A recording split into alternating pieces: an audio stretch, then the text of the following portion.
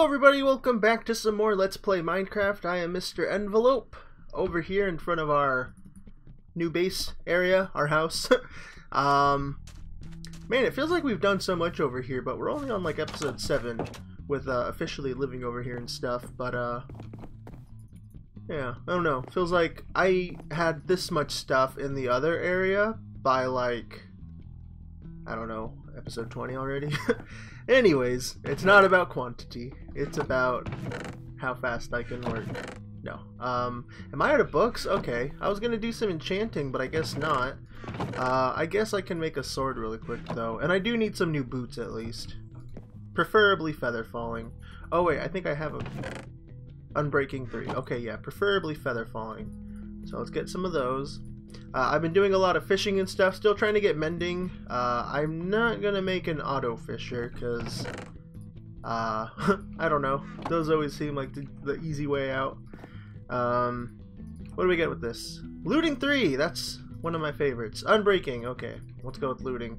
Hopefully it's not like Smite or Bane of Arthropods. Oh, god damn it. uh, Smite, yeah, it's like the same sword. That's fine, I guess. Unbreaking. Oh, come on. Let's go for another sword. Let's try that. Uh, sword. And... Okay, let, us just go for this. Just unbreaking. Okay, that's fine. We have tons of diamonds now. Uh, something happened in between uh, this episode and the last episode. Um, my... The game didn't close right uh, when I went to exit out of Minecraft, so when I went to load it back up, the first thing I did was check to see if there was any uh, broken chunks or something. And uh, sure enough, there were. So I loaded a backup. There was like six of them, so it was pretty bad. uh, there was like six of them, so there was just like floating squares everywhere. Not floating, but you know, they were just like coming out of the ground of uh, chunks that had to get replaced or something.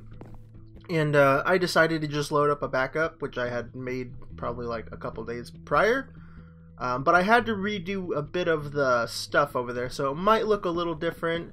Um, and I had to go remining again, because that was really uh, productive, I feel like. I got tons of resources, uh, and I lit up a bunch of the ground underneath us, which I don't know if that's a good thing or not, but uh, we might do some kind of farms around here or something, you know, so anything will help.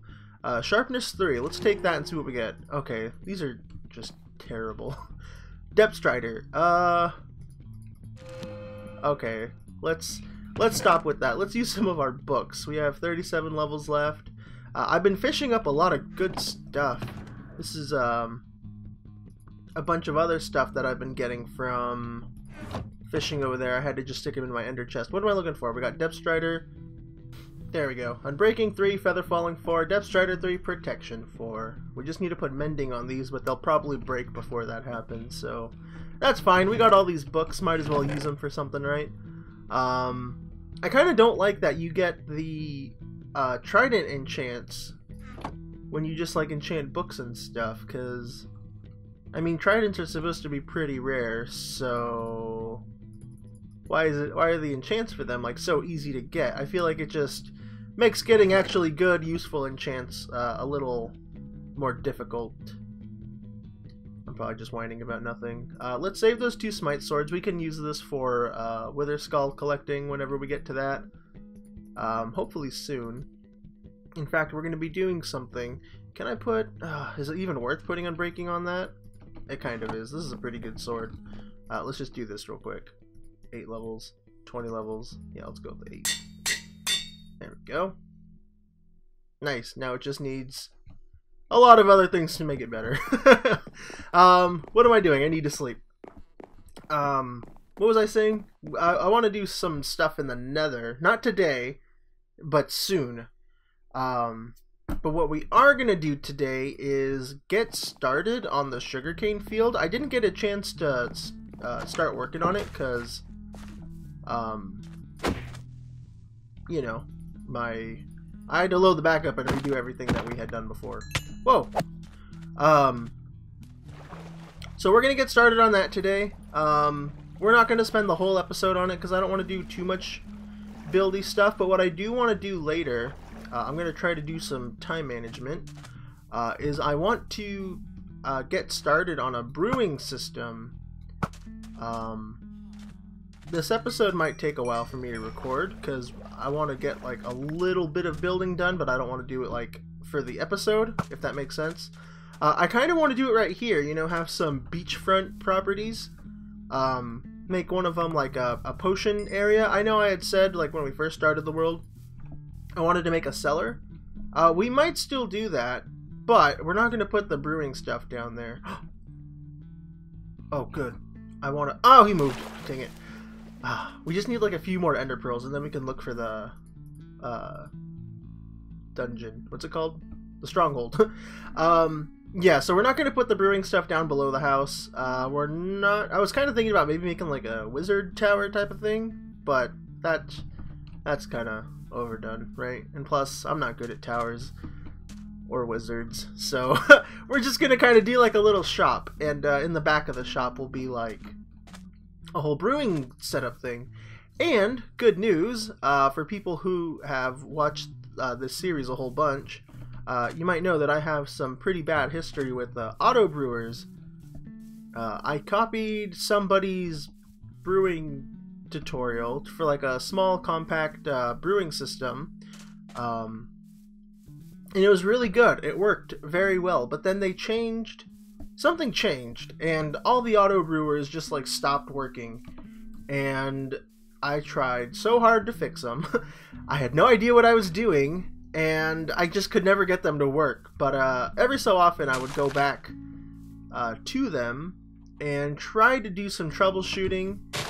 Just try to, you know, maybe tweak some stuff, use the little bit of redstone knowledge that I have, uh, and try to figure it out. Well, I finally got it to work. Um, the redstone for it is kind of ugly, but uh, I'm not, I don't really care. I'm just glad I got something to work.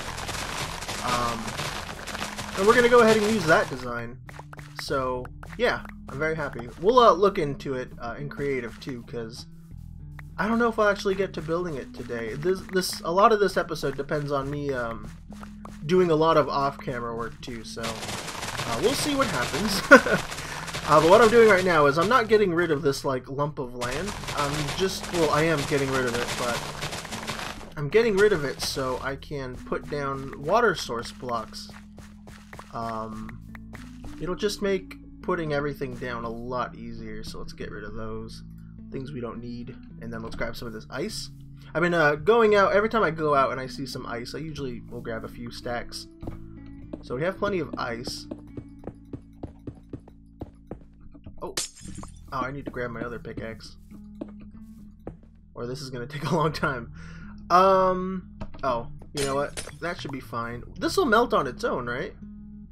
We're in the wrong biome for it to stay cold. Oh, I don't have my ender chest. It's annoying. Um, what am I trying to do? I'm trying to make uh, infinite sources and stuff. This might work. What am I trying to do? Oh yeah, it's working. Okay. I wasn't sure if it needed like an enclosed container for it to like spread properly. But here we go. Okay, this should make like a nice odd shape for water. oh, am I doing this wrong? I don't think so. Okay, so if I put this here, I didn't realize like how much work this is actually to take uh, to do the whole sugarcane farm because this needs a lot of water. And they all have to be, you know, uh, every sugarcane has to be like next to water. Duh, I'm sure people know that. I don't need to explain that. Uh, I don't know what shape I'm going for with this chunk of land. But uh, why we need the water and stuff, or why I wanted the source blocks there, is because then I can just go like this. I don't have to manually put a bucket down for uh, each spot where I need uh, the top half of the slab. I had to look up to see what slab was. Um, what was I saying? Oh yeah, so these can get waterlogged and stuff. Alright, so the end product would be something like this. And of course, you know, I'll, I'll clean up the edges. Uh, it's not going to be just up here. Uh, we're gonna, or I'm gonna, you know, slowly remove the second layer, um, repeat this whole process again, and cover Uh, I don't know how much land. I want it to be visible from there. Obviously this will be, but I don't know how far down this is going to go. Uh, I want to fill in some of this hole too, so I need to collect some stone so it's not just hollow, because uh, that would bug me. Um, I don't want to get totally get rid of this dip right here, but uh, sort of mend it or something, because, you know, there's some holes over there too. Um, but yeah, we'll have this go down this little slope just a little bit, I think. Maybe up to like that edge. It'll stay right there, something. And then I don't know how far back we're going to go either. We might even uh, kind of keep like an opening right here or something, so we can have a pathway. Maybe, who knows? Uh, but because there are water sources inside of there, uh, we're able to put down sugarcane. And, oh wow, this is really bright. um, yeah, this might not look as good as I thought, but we're going to need sugarcane. And I think this is one of the best ways to farm it. It's not automatic. Um, there's no, like, auto-harvesting, auto breaking. I guess that's harvesting. Auto collecting. There's no no automation in this, but I think we're gonna get the most sugarcane from this. Uh, yeah, and that's why I'm doing it. Um, also, cause Ninny, I think. Yeah, I think I said that. I liked how his sugarcane field looked uh, in his world. So there you go. That's what we're gonna do. And then for lighting, I think I I talked about this when I first brought this idea up. Um, I'm not to do it now because I want to see how big the field is, but uh, we'll just do something like this. Put some glowstone down and then trapdoor, and then the light can still get through there. It won't be as bright, I think, because of the water, or maybe it will be. Water has changed how much light can pass through, so there you go. That's what uh, I'm going to be doing. Um, yeah, I'm going to do this for a little bit longer, and then I'm going to get started on those uh, the houses on that little property over there. Alrighty guys, so this is all that I've really made. Uh, okay. Alrighty guys, so this is pretty much all I've really been doing. Or this is all that I've been able to do. Uh, I haven't been playing on this too much. I haven't been working on this world, making any uh, progress really. Um, I've been, I think I, I mentioned this before, last video too, and uh, briefly in the beginning of this episode. It's been like over a week since I recorded the first bit. Um, I've just been spending a lot of my free time playing other games. Uh, I usually get into this habit around this time. Uh, like, uh, I, I hooked up my GameCube and stuff, and I've just been, you know, playing a bunch of other games like Smash Bros, uh, Melee, because I'm super excited for the new Smash Bros game. Uh, I've been getting back into Pokemon again, you know, just been doing some other stuff that aren't Minecraft. Um, but this is, you know, I think you guys saw this when I was like, I'm gonna put all this stuff down and we'll see how it looks. Um, but yeah, this is how it looks. It's super ugly, you know. It's just it's um it's sugarcane fields. And you know what? Uh, I was watching back one of Ninny's old episodes of his old Let's Play World. Uh, the way he had this was he had like clear rows. So this wouldn't have any, this would be sugarcane, and then this wouldn't. It wasn't like a checkered pattern. He had like um, strips of sugarcane and stuff. But uh, I think what we're doing is going to be a little bit better for our needs, uh, but this is still pretty much inspired by Ninny's sugarcane field. And it's over here in the back still, you know, because we want it to be far away because it's kind of an eyesore. I went ahead and made a retaining wall right here. We'll spruce it up later. Uh, I'll probably put a house, or not a house, but like a building right here or something. That was kind of the idea I had. Um, and then we have a walkway here. You know, we got more walls uh, right here and stuff. I want to fill this up just a little bit, maybe two blocks higher, so it'll be flush with this ground level. And then, you know, see what we get going right here. Uh, what gets planted. Um, but yeah, if you look at my inventory, it's kind of a mess. We have a lot of redstone stuff because I went ahead and I built those buildings over there. I know we don't have a lot of time. Uh, I watched back what I did record, and it's about 15 minutes already, and I've been talking for two minutes already. Wow, that's a lot faster than I thought. um, so I had said that I wanted to build like those buildings up front over here. Uh, I went ahead and did that. They they went through such a process. I think doing this is also what made this episode take a little longer because I wasn't sure what I was doing over here. I had like a a really small idea, like half baked, and when I finally came up with something, this was like the only building that I thought looked uh, acceptable. um, and then I wanted to do something kind of like this, you know, more of a narrow, flat, um, square looking building and stuff. And then over here, I had something look super terrible. It was, it was bad, and I'm glad I decided to scrap that. Oh, I wish I didn't pick this up. Um, it was all bad, but I went ahead and I tore it down, and uh, I decided to put a little uh, horse stable parking spot right here. Uh, obviously, we'll clean it up a lot more because this is a super flat wall. The ground is all green. It, it doesn't make too much sense right now, but the idea is there. I'll have to work on it later, and I moved the portal right there in case anyone's wondering. Uh, and I had to go to the nether to go get some nether wart because if we're doing the whole uh, potion brewing area thing, um, we need nether wart for that. And you know what? I just remembered. It's over here or something. There we go. I have some nether wart growing. Uh, is it all done? It is. Alright. There we go. Let's just replant that and get out of here. There we go. Fill that in. um, yeah, I thought I had nether, but I didn't. So I had to go in the nether, find that uh, fortress again, and I kind of made a pathway uh, over to it and everything. But uh, really quick before we come in, uh, I'm pretty happy with this building. I think it came out okay. It's nothing special. Um, I wish having these two buildings here, I want there to be maybe like some here and then there and then maybe some more back there. So it's not just like these two random buildings in this giant open space because I know we got some beach property right here. You you you technically don't see a lot of buildings on the sand. Um, just because there's there's poor foundation there. So if you do have beachfront properties, you typically want them to have some distance away from the beach. So uh, I think if we put a couple there and there, it'll make this place look a little more alive and it'll make uh, some sense. um, but yeah, it's nothing nothing too crazy. You can already see the brewing uh, auto brewers down there. It's very plain. Right here we'll have, you know, a staircase or something, but I gotta build these uh, brewing auto brewers first before we can do any of that. Uh, before we do any landscaping back over there. There's a small upstairs over here. I don't know what I would put here. Maybe a bed, just something so we can uh, sleep if we're on the go and stuff. This isn't anything special, but it is going to be the storehouse for all our potion supplies.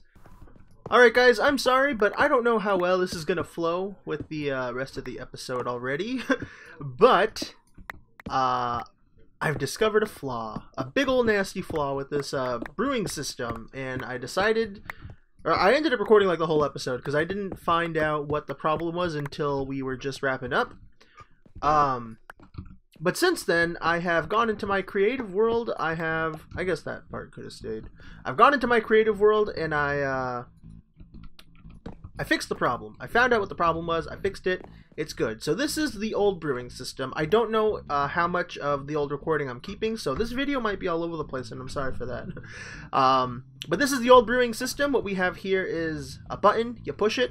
Uh, potions will have been stored here, and then when you push this button, they fall through. Uh, when the brewing stand is empty, there's going to be a time where it's just empty. This comparator will get unpowered.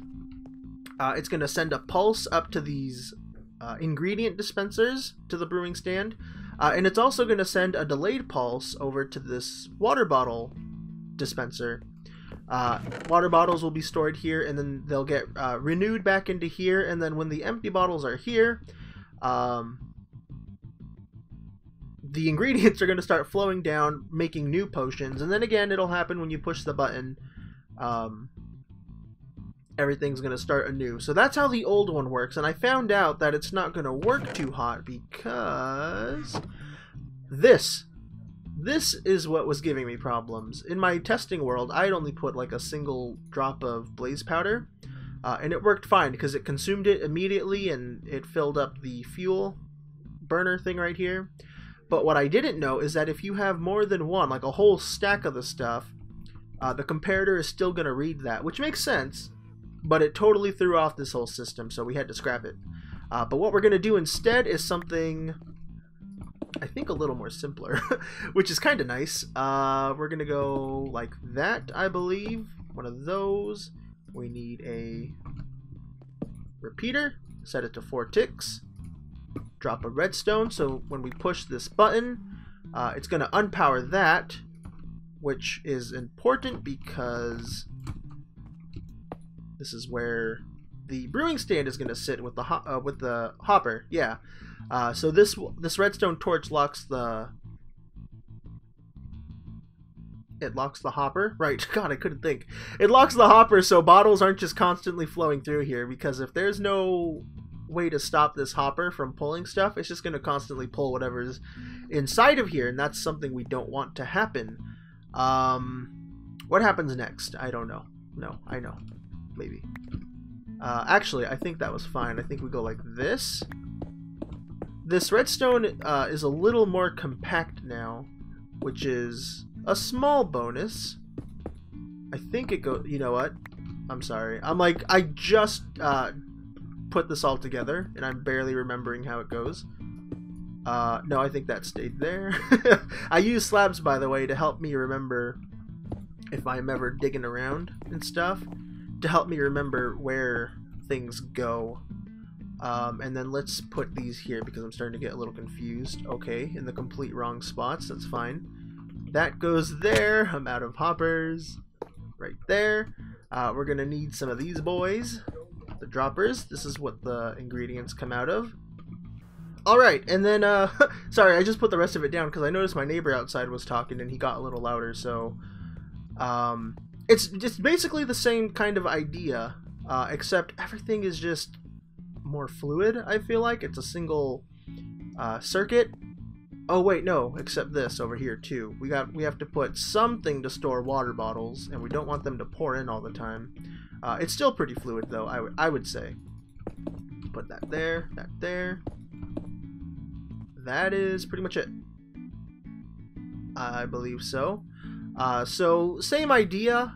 Whenever the button gets pushed, it's gonna give the ingredients, and it's gonna give water bottles. And you know what? I think we want the delay over here. Because we want the ingredients to go inside these droppers as soon as possible. Let me double check my redstone. And yep, it's uh it's good. This uh this should work. So uh let's grab some bottles. Let's empty our inventory really quick. Oh, I have to calibrate the ingredients too. Let's uh let's grab some of this too. If we put this here, we shouldn't have any problems with this being here now. Uh I should go sleep really quick in case a mob comes down from there.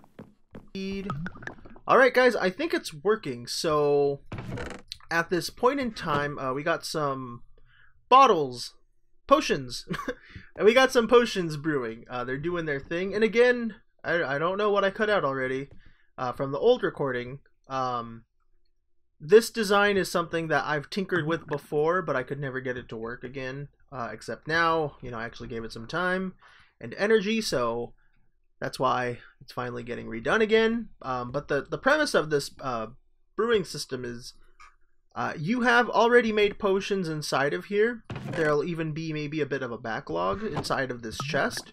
So whenever I want, I can just come by, grab whatever potions I need, push this button, and skedaddle. Uh, but what's happening is when I push the button, you know, whatever's inside of here, the potions that were brewed, uh, they get sent to the chest, new bottles are getting emptied inside of here, and then these droppers are dispensing the proper ingredients, and uh, you might have to do some calibrating on what goes where. Um, because sometimes, you know, I, will just throw in nether wart up here, but you, you want to make sure that the, uh, the right order is set up. Uh, and that's super easy to do, you know, just swap some things around. Uh, this brewing system can support up to four ingredients, so if I wanted to make these splash potions, I can fill one of the droppers with gunpowder, uh, or maybe dragon's breath if I wanted to. Um, and this is just for water bottles. That's uh, pretty much it, and we're not having any problems with the blaze powder uh, being uh, read because there's no comparators reading that, and yeah, this is it. I'm gonna have to remodify these just a little bit. It looks like I didn't have to take the whole thing down, just the redstone. Um, but yeah, I'm really happy with it. And because... Oh, you know, I think we're still out of time. um, I feel like I've been talking a little too much, but you know what? Maybe, maybe I'm gonna try to fancy this up a little bit, see if I like it, uh, make it look a little presentable and everything. So let me do that, and then we'll probably end the episode there. One, two, three. Just really quick, want to see how this is gonna look. So this is what I did. it's a lot of wood still. This whole house is just, or this whole building is just a lot of wood. I think I want to keep this here. Makes it look like there's more to be seen, but really there isn't. Uh, obviously. We might put like a chest or something in here. I don't know. Some sort of storage, but um, yeah, this is how it looks when it's all covered up and everything. And what I like about this design is you can't, okay, you can a little bit if you try. Um, there's not too many too many areas you can go and peek through, and even, uh, you know, I think I could probably squeeze some sort of wood block there. Yep, just did it. Uh, well, now I'm curious. Let's put that there, and you can peek through here too. So let's put this right there. Yeah, you can't see anything. None of the redstone back there. If you really tried... Oh, no, no, no, I bet... Yep, there you go. Now you can't see, like, any of... Okay, I'm speaking too soon. Um, you can see some stuff back there, but it's nothing too serious, right? Can I do anything else? No. And I'm okay with that. I think it's fine. Um, but yeah, this is what the whole thing kind of looks like, I suppose. It's a lot of wood. I have a problem right here. I can't dig any of this out because it's what you walk on when you uh, enter this area, so... Yeah. A little strange. Uh, maybe we can do something like this? Ah? That's a lot of spruce wood. I might... Mm, this place might need a little bit more work. uh, but overall, I'm pretty happy with uh, all of this. It took a lot of time, a lot of trial and error. Um, not just with the redstone, but with like this whole building area too. I think I went over that. Um, but thank you guys very much for watching. I hope you enjoyed this episode. Let me know what you think of these um, brewing stand thingies. Um, and let me know what you think of this whole build. I know it's not a great build. Definitely not a great build, but uh, for what I wanted it to be, just a small area to like store some stuff in, I think it, it came out pretty well. Um, and of course, you know, I'll like stack this whole area with like chests and stuff. Like this, this isn't staying here. I just threw those down because I had them. Um, but yeah, let me know what you guys think. Uh, thank you for watching. I hope you enjoyed this episode. I'm Mr. Envelope, and I'll see you guys in the next one. Peace out. Bye-bye.